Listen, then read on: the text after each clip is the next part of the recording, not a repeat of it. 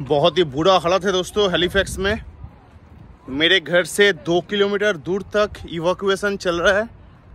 और आज मैसेज आया है कि जो फायर हो रहा है that is out of control ठीक है?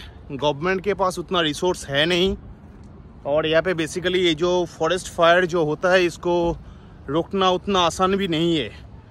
क्योंकि एलवाटा में, ब्रिटिश कोलंबिया में मैंने खुद देखा है, इसके पहले जब मैं गया था कि वहाँ पे महीनों भर मोर देन अ मंथ वो फॉरेस्ट फायर होता है।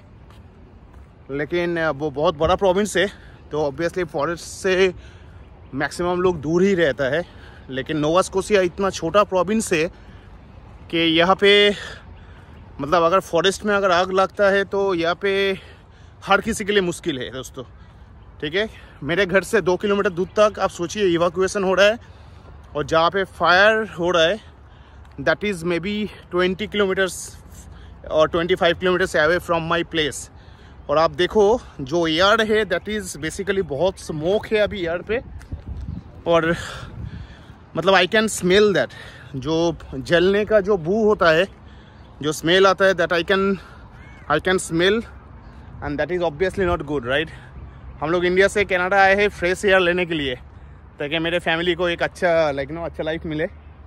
मेरे बच्चों को पॉल्यूट पॉल्यूशन फ्री एयर मिले।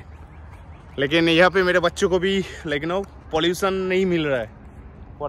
तो आप देखिए शायद आपको भी दिख रहा होगा थोड़ा सा धुआँ धुआँ है और ये जो धुआँ है that is basically smoke nothing else तो अगर आप हेलीफैक्स में हो दोस्तों आई डोंट नो आप कहाँ पे हो अगर हेलीफैक्स में हो तो आपको शायद पता है अभी क्या चल रहा है। और अभी जस्ट कुछ देर पहले ही ये एम्बर अलर्ट आया है। बाय द वे अगर आप कनाडा में नए हैं अगर आ रहे हो यहाँ पे एक अच्छी बात है कि लाइक नो यहाँ पे कुछ भी होता है यहाँ से एडमिनिस्ट्रेशन की तरफ़ से यहाँ पे आपके पास मैसेज आ जाएगा आपके मोबाइल पे। और आप, अगर आपका इंडिया का भी मोबाइल है मतलब इंडिया का भी अगर सिम कार्ड है बेसिकली इंडिया का इंडिया का जो सिम कार्ड है, वो भी यहाँ पे कोई ना कोई लोकल नेटवर्क से वो टाई अप है राइट तो उस नेटवर्क में भी वो एम्बर अलर्ट यहाँ पे बोलते हैं, वो इमरजेंसी अलर्ट आया था। देखिए, अभी मेरे मोबाइल पे एक अलर्ट आया है। आप देखिए यहाँ पे, अगर आप देख सकते हो तो इमरजेंसी अलर्ट और यहाँ पे लिखा है। देखिए, यहाँ पे लिखा है कौन कौन सा एरिया में लोगों को इवाकुएट किया जा रहा है। तो ये जो एरिया जो लिखा है, सभी मेरे घर से दो किलोमीटर के डिस्टेंस पे है। तो आई डोंट नो शायद मुझे भी कल तक शायद ये लोग, हम लोग के पास भी मैसेज शायद आ जाए कि हम लोगों को भी इवाकुएट करना है। द प्रॉब्लम इज़ दैट कि इवाकुएट करने के बाद फैमिली लेके ये लोग बोलते हैं कॉम्फोर्ट कॉम्फोर्ट सेंटर बोलते हैं। Comfort centre means nothing like you know जो म्यूनसिपलिटी का जो फैसिलिटीज़ होता है वहाँ पे कुछ कर देगा ये लोग ताकि वहाँ पे लोग रह सके, लेकिन obviously that will not be up to the mark ठीक है? तो अगर आप लोग इंडिया में हो जस्ट ये वीडियो आप लोगों के लिए है कि हम लोग इंडिया में देते हैं हम लोग इंडिया को बोलते हैं लाइक नो इतना पॉल्यूशन है, इतना ये, वो है सो है। लेकिन एटलीस्ट इंडिया में ये प्रॉब्लम नहीं है कि आपको आपके घर छोड़ के जाना पड़े। अनलेस लाइक नो कुछ इमरजेंसी हो जाए तो। तो वहाँ पे भी गवर्नमेंट का जो हाल है, यहाँ पे भी गवर्नमेंट का ऑलमोस्ट सेम हाल ही है। यहाँ पे यहाँ पे ऐसा नहीं है कि फ़र्स्ट वर्ल्ड कंट्री है तो सब कुछ everything is green it's not like that okay only thing यहाँ पे पॉली यहाँ पे पॉपुलेशन बहुत कम है। जिसके वजह से मुझे लगता है कि यहाँ पे यू नो इतना जो साफ़ सुथरा दिखता है या इतना जो पॉल्यूशन जो कम दिखता है एयर में maybe that is that is one of the reason and ये कंट्री बहुत बड़ा है राइट इन लोगों के पास लैंड काफ़ी बड़ा है राइट इस कंट्री का एक जो प्रोविंस है ऑन्टेरियो अगर आप ऑन्टेरियो के देखोगे ऑन्टेरियो इट सेल्फ इंडिया से बड़ा है। तो यहाँ के एक प्रोविंस पूरा इंडिया से बड़ा है और इंडिया का पॉपुलेशन 130 बिलियन और यहाँ पे आप देखिए, यहाँ पे नॉट वन थर्टी बिलियन एक सौ तीस करोड़ राइट एक सौ तीस करोड़ का पॉपुलेशन और यहाँ पे तीन करोड़ का population right so anyway so just आप लोगों को यही बोलना चाह रहा था कि अगर आप इंडिया में हो इस टाइम पे, और अगर आप हेलीफैक्स आने के बारे में सोच रहे हो तो वेलकम टू हेलीफैक्स लेकिन कुछ दिन बाद आइए।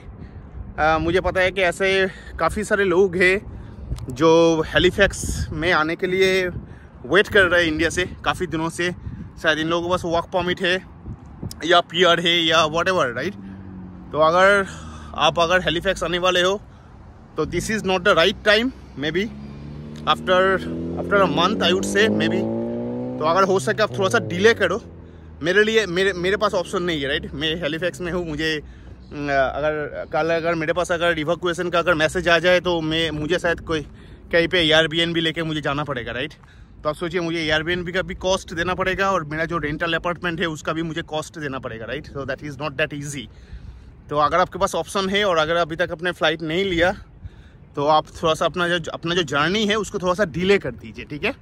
क्योंकि देखिए ऐसा किसी को तो प्रेडिक्शन नहीं था कि ऐसा हो जाएगा राइट यहाँ पे ऐसा फायर फॉरेस्ट होगा लाइक यू नो ये फॉरेस्ट में फायर लगेगा ऐसा किसी को पता नहीं था राइट ये हो गया बट uh, क्या कर सकते? बट प्रॉब्लम इज़ ये प्रोविंस बहुत छोटा है आप जहाँ पर भी रहो you will be affected because of this forest because of this fire basically right तो अगर हो सके जस्ट डिले कर लीजिए अपना जो जर्नी है। और मैं आप लोगों को बोलता रहूँगा मैं आप लोगों को अपडेट देता रहूँगा। अगर हम लोगों को इवाकुएसन करना पड़े then what is the what are the options I have maybe I will share with you guys तो शायद वो आपके लिए ईजी हो सकता है अगर आप ऑलरेडी नोवास्कोसिया में हो। सो uh, so, देखते रहिए मेरे चैनल जुड़े रहिए मेरे साथ।